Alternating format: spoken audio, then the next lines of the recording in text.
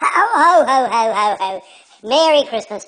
Peter Anthony Holstein here, on behalf of Aero Wasp Helicopters, wishing all our clients, students and friends a very Merry Christmas and a Happy New Year.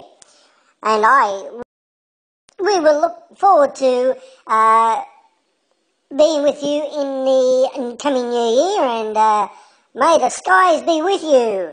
Where's that Santa Claus? We've got to start singing a Christmas song, man, Santa. Where is he?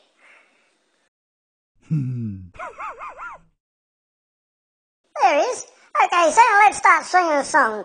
Jingle bell, jingle bell, jingle all the way.